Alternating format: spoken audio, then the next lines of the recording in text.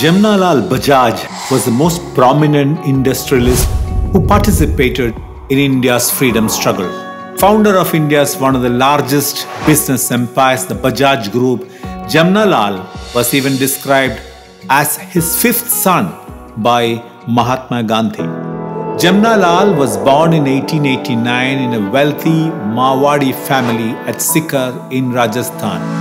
He was adopted as a child by a relative and rich businessman, Seth Bachraj of Wardha, Maharashtra.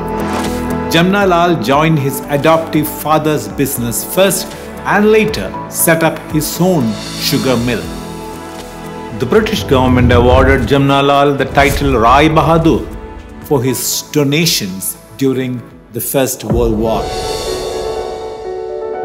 With Mahatma Gandhi's return from South Africa and taking over the freedom struggle, many Indians were attracted to the national movement. Among them was Jamnalal. He became an ardent admirer of Gandhi and his ideals. Jamnalal joined Congress and along with his wife Janki Devi became inmates of Gandhi's ashram at Sabarmati, Gujarat. 1920, Jamnalal headed the reception committee of the Nagpur session of the Indian National Congress. Jamnalal participated in the non-cooperation movement next year and surrendered his title Rai Bahadur.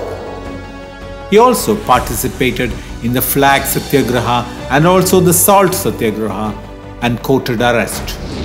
In 1931, when Gandhiji left Sabarmati ashram for good, Jamnalal persuaded Mahatma to start a new ashram in his village Wardha on the land he donated. There came up Gandhiji's Sevagram ashram. Jamnalal also became a member of the Congress Working Committee and also the party treasurer during the 1930s. Jamnalal was active in Gandhian campaigns against untouchability and for the propagation of Khadi and Hindi. He campaigned against the ban on Dalits in temples. In 1928, he created history by throwing open his family temple, the Lakshmi Narayan temple at Wardha to Dalits, inviting the hostility from the orthodoxy. Jamnalal was in the forefront of Hindu-Muslim unity and was the founder treasurer of Delhi's Jamia Millia Islamia. He was among the founders the All India Hindi Sahitya Sammelan and also the Dakshin Bharat Hindi Prachar Sabha. Jamnalal died at the age of 52 in 1942. Today, the Bajaj Group Jamnalal founded has a market value of more than rupees 8 lakh crores.